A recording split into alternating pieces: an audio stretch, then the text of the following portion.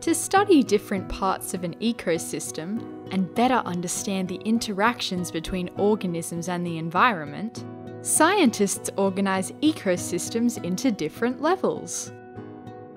The simplest level in an ecosystem is a single organism. In an African grassland, a single wildebeest is an example of an individual organism. Of course, there's more than just one wildebeest in an African grassland. All of the organisms of the same kind within an ecosystem are called a population. All of the wildebeests in the African grassland make up a population. Organisms within a population interact with one another and reproduce. They have young to ensure their kind continues to live in the ecosystem.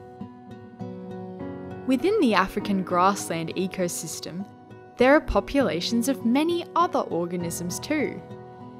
There's populations of acacia trees, termites, zebras, lions, and many others.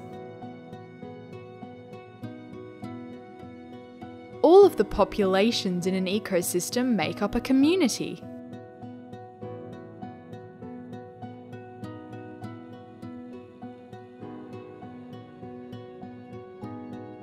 The community and the interactions with the non living components of their surroundings make up the ecosystem.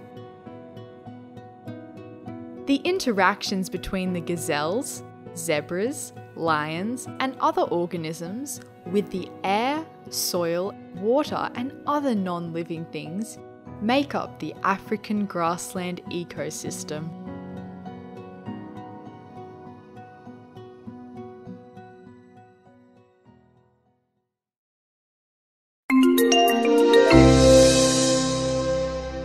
Don't forget to subscribe.